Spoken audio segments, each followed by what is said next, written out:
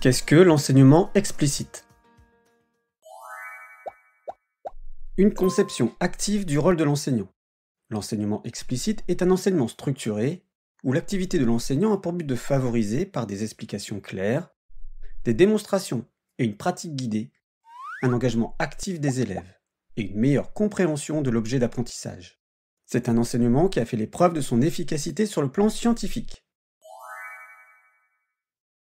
Une réflexion sur le contenu à enseigner et son découpage.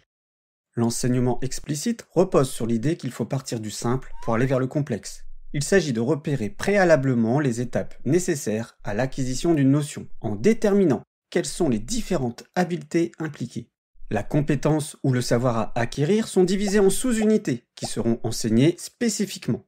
Par exemple, répondre à des questions de compréhension de texte est une activité complexe qui suppose un grand nombre de connaissances pertinentes et de stratégies efficaces, parfois très implicites. Si on ne les a pas, C'est trop dur, je comprends rien. les sources d'erreurs sont multiples et on ne peut pas contrôler sa pensée et sa démarche. Pour cela, il faut enseigner explicitement ses connaissances et stratégies. Les difficultés de compréhension de texte ne tiennent pas qu'à des difficultés de lecture à proprement parler. Elles sont aussi liées à la compréhension des consignes et aux stratégies à mettre en place pour y répondre. Il va donc falloir enseigner explicitement des sous-unités de cette compétence afin qu'elle soit plus facilement accessible par les élèves. Identifier et comprendre le mot interrogatif. Identifier et comprendre les mots-clés, etc. Voyons ce que cela donnerait pour apprendre aux élèves à identifier et comprendre des mots interrogatifs en vue de répondre à des questions de compréhension. Une manière de structurer les séances d'enseignement. On peut distinguer cinq grandes phases. Tout d'abord, ouverture de la séance. L'enseignant précise aux élèves l'objectif de la séance, afin qu'ils puissent maintenir un but précis en mémoire et focaliser leur attention sur les notions essentielles de l'apprentissage à réaliser. Pour réussir à répondre à des questions de compréhension de texte, nous allons tout d'abord apprendre à identifier et comprendre les mots interrogatifs.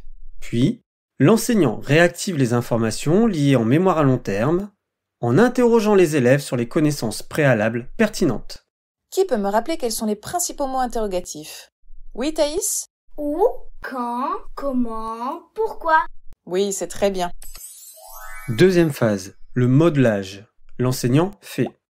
L'enseignant réalise une tâche devant les élèves, tout en décrivant ce qu'il fait pendant qu'il le fait, en mettant un haut-parleur sur sa pensée, afin de transmettre des stratégies de résolution, mais aussi d'évaluation de sa progression.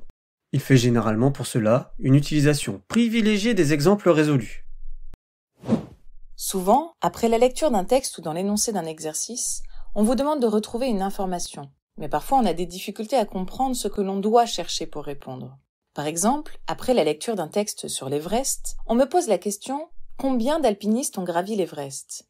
Je vais commencer par me demander ce que je dois chercher. Pour savoir ce que je dois chercher, je relis la question et je vois qu'elle commence par combien. Si la question commence par combien, c'est que je dois chercher un nombre, une quantité. Il va donc falloir que je relise le texte à la recherche d'une quantité ou d'un nombre. Autre exemple, si la question est Où se situe l'Everest? Que dois-je chercher? Paul? Je dois chercher un lieu, un endroit du coup. Très bien. Comment sait-on que l'on doit chercher un lieu? Oui, Swan? Parce que la question commence par où C'est juste. Donc pour savoir ce que l'on cherche, il faut identifier le mot qui porte le questionnement. Par exemple, combien, où, quand, pourquoi, pour savoir ce que l'on doit chercher comme type d'information. Un chiffre, un lieu, un moment, une cause. Phase 3. La pratique guidée. L'élève fait avec le soutien de l'enseignant. Le but de cette phase est que les élèves progressent dans la compréhension de l'objet d'étude. L'enseignant propose alors une pratique collective, en sollicitant l'engagement des élèves, tout en étant en interaction avec eux. Les formes peuvent être variées. Oral, brouillon, ardoise, tableau, travail en binôme, etc. Vous allez devoir entourer le mot interrogatif contenu dans ces questions et cocher la proposition de réponse qui indique le type d'information à trouver dans le texte. Qui veut bien lire la première question? Iris? Qui utilise les fruits empoisonnés? Quel est le mot interrogatif contenu dans cette question selon toi? Pour moi, le mot interrogatif est qui? Très bien. Par conséquent, quel type d'information devrez-vous trouver dans le texte? Isée On nous demande donc d'indiquer un être, Donc un non dans notre réponse, non? Oui.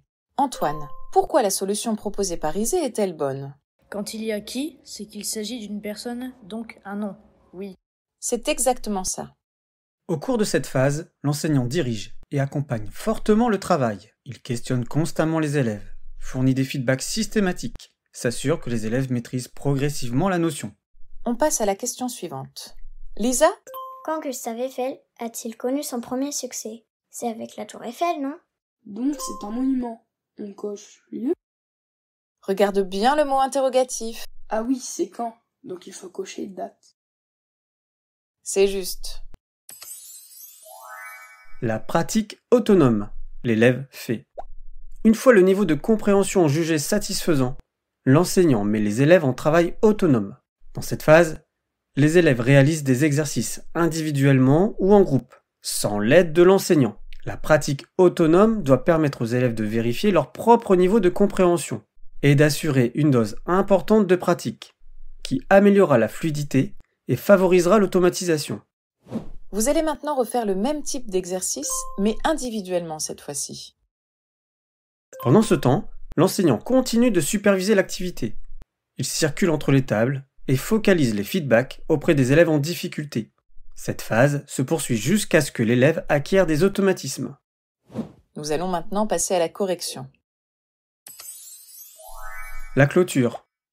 L'enseignant synthétise, avec l'aide éventuelle des élèves, ce qu'il faut retenir. Nous avons vu aujourd'hui comment identifier et comprendre les mots interrogatifs d'une consigne. Vous pouvez maintenant compléter votre fiche synthèse. Lorsqu'on me pose une question que je ne comprends pas bien, je commence par identifier le mot qui porte le questionnement pour savoir quel type d'information je dois chercher. Annonce de manière très brève la prochaine séance. Lors de la prochaine séance, nous verrons comment identifier les mots clés qui aident à savoir ce qu'il faut chercher de façon précise. Et indique le travail à faire à la maison, qui contribuera lui aussi à consolider les apprentissages et à favoriser l'automatisation. Mais d'ici là, et pour consolider ce que nous avons vu aujourd'hui, vous devrez faire la suite des exercices. L'enseignement explicite intègre, à travers l'ensemble de ces phases, rappel des notions antérieures, modelage, pratique guidée, pratique autonome et automatisation, la nécessité d'un surapprentissage qui va continuer à parfaire la compréhension, l'automatisation et la mémorisation à long terme. Les contenus disciplinaires ne sont pas les seuls susceptibles de faire l'objet d'un enseignement explicite. Il est aussi important d'enseigner aux élèves de manière explicite comment apprendre, comment gérer leur propre apprentissage, ce qui peut favoriser leur métacognition et leur autorégulation.